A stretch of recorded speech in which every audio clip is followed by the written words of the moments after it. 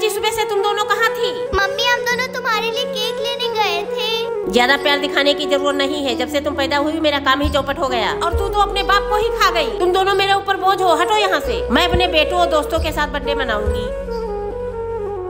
बच्चों मैं आ गई। तो हम क्या करें मम्मी? हमें डिस्टर्ब मत करो।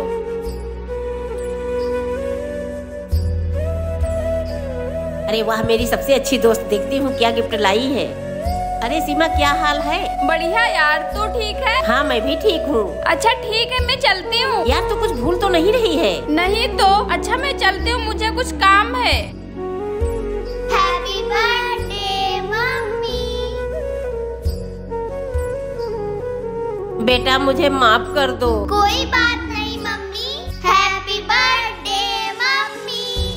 सच में दोस्तों बेटियाँ भगवान का दिया हुआ अनमोल तोहफा हैं।